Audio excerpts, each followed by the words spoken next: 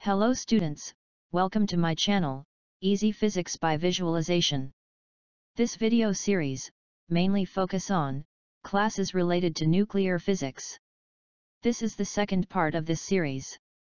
Today we are going to discuss about, Bohr and Wheeler's theory of nuclear fission.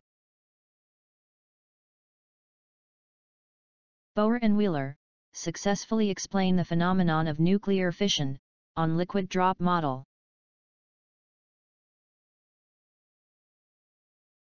A liquid drop, have a spherical form, due to internal molecular force, responsible to surface tension.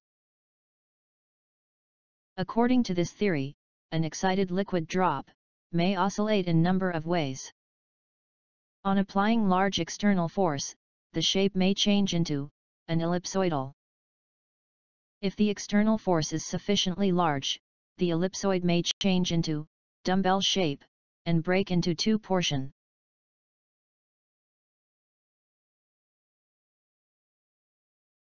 This analogy may be extended to, a nucleus which behaves like liquid drop.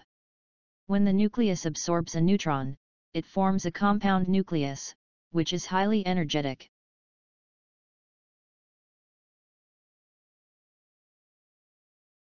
The extra energy possessed by it, comes mostly from, the binding energy of the neutron absorbed by it.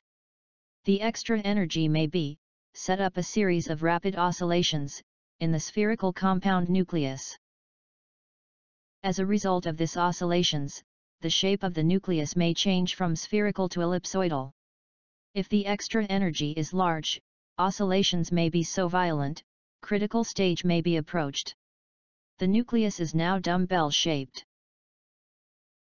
Each bell of the dumbbell, has now a positive charge, and repel each other. This results in fission. The nuclei that result from fission are called fission fragments. Usually fission fragments are of unequal size. Thanks for watching please like and subscribe to my channel for further updating.